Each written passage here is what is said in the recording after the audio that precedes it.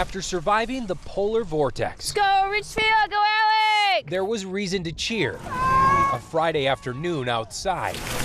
Beautiful out here. Gorgeous. And if that's how they describe 17 degrees, tomorrow will feel like a victory lap. We're gonna ski, we're gonna be outside running, we're gonna be doing lots of activities outside. You know, we're Minnesotans. We like to recreate outdoors, and when you get cooped up, it's it's no fun. Just don't expect the ski slopes or tubing hills to look this empty. Oh! Staff at Elm Creek Winter Recreation Area say they're ready for a Saturday rush like none other. What kind of capacity do you have out here? We have 500 tubes.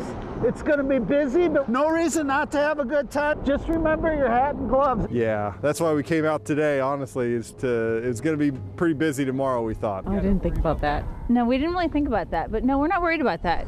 How could you worry after the light show Mother Nature put on tonight? Oh my gosh, right? Yeah, this is a heat wave. Yeah.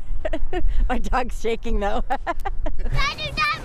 We kept telling the kids, you'll only have so many days that are this cold in your entire life, so take it in.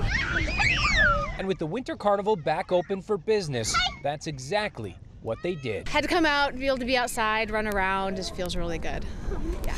Yeah. Yeah. And after this, we're going to a brewery. Which is even better. Now,